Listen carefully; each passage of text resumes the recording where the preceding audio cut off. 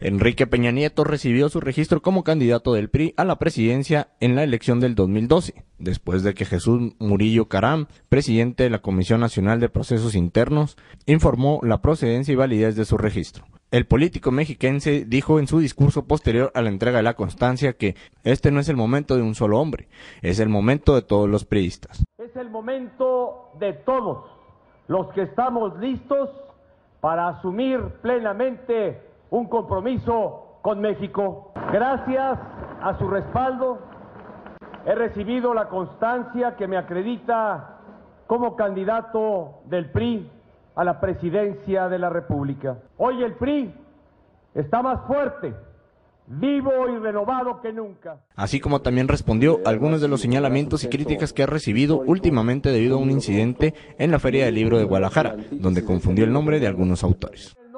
De algún autor, pero debe quedar muy claro, lo que no se me olvida es la violencia, la pobreza y la desesperanza que vive México. Y no se me olvida el dolor de las familias que han perdido a sus seres queridos por el ataque impune de los criminales.